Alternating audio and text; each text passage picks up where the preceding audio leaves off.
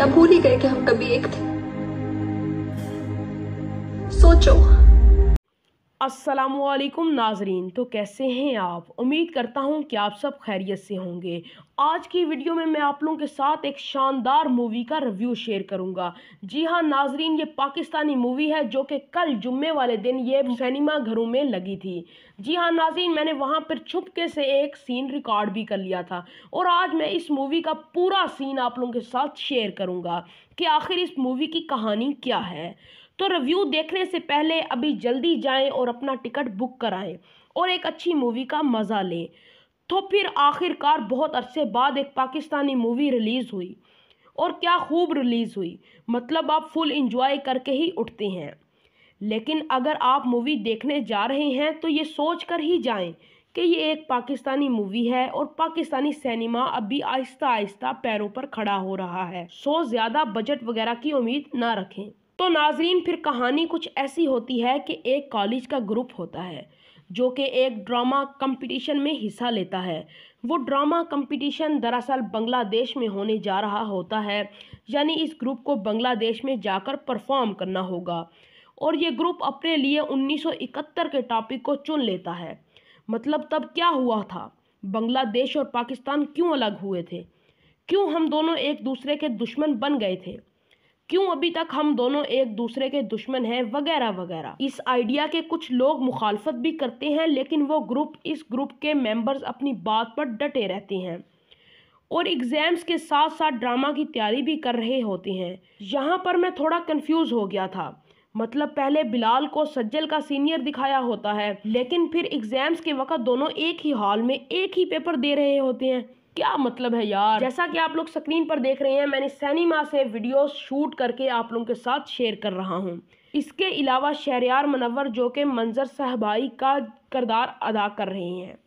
इनका करदार मूवी में बहुत छोटा सा है, लेकिन सबसे मज़े का है। आप इस करदार के साथ बिल्कुल अटैच हो जाते हैं। इस करदार के दुख आपको अपने दुख लगते हैं। इन शॉर्ट 1971 के वाक़ात हम इस करदार के बदौलत देख पाते हैं। तो नाजरीन, मेरी तरफ़ से इस फ़िल्म को पाँच में से चार स्टार मिलेंगे। तो नाजरीन, आप लोग पूछेंगे कि पाँच में से चार स्टार ही क्यों दिए गए? तो इसकी वजूहत भी मैं आप लोगों के साथ शेयर करता हूँ कि मैंने चार स्टार्स किस लिए दिए। पहला स्टार, नए कॉन्सेप्ट के लिए मतलब इस टॉपिक पर हमने पहले कभी मूवी नहीं देखी। सो, नया और फ्रेश कंसेप्ट है। दूसरा स्टार, सज्जल अली और बिलाल अब्बास की एक्टिंग के लिए, कमाल की एक्टिंग। तीसरा स्टार, नई और फ्रेश कास्ट को देखने के लिए। चौथा स्टार, स्पेशल इस स्टेज ड्रामा के लिए जो आखिर में दिखाया गया। मतलब कमाल, लाइनिंग वगैरह, सब कुछ कमाल था। तो नाजरीन, पांचवा स्टार जो कटेगा, वो इस बात के लिए कि मूवी में अमन पीस की बात की गई। लेकिन फिर भी सारा इल्ज़ाम इंडिया पर ही क्यों? मतलब मैं इंडिया को सपोर्ट नहीं कर रहा। बेशक वो हमें अपनी फ़िल्मों में बुरा भी दिखाते हैं। लेकिन क्या हम भी फिर वैसा करेंगे? मतलब यहाँ गलतियाँ सबकी थीं। इंडिया, बांग्लादेश और पाकिस्तान तीनों की, लेकिन टारगेट आखिर में सिर्फ़ एक मुल्क को ही क्यों किया गया? इसके अलावा बाकी मूवी परफेक्ट थी।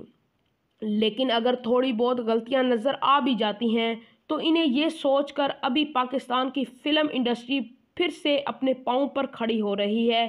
अभी शुरुआत है। तो फिर आप खुद ब खुद नज़रअंदाज कर देते हैं। और एक और बात जो लोगों को बहुत बुरी लग रही है और मुझे बहुत अच्छी लग रही है कि मूवी में फजूल सॉन्ग्स वगैरह नहीं डाले गए, क्योंकि मूवी का थीम ही कुछ ऐसा था कि सॉन्ग्स की ज़रूरत ही नहीं थी और जिन सॉन्ग्स को मूवी में डाला गया था वो मूवी की ज़रूरत थी।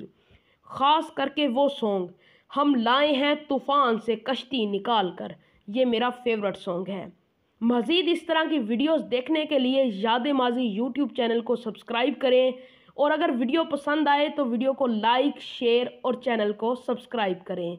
दुआओं में याद रखिएगा। अल्लाह हाफिज़।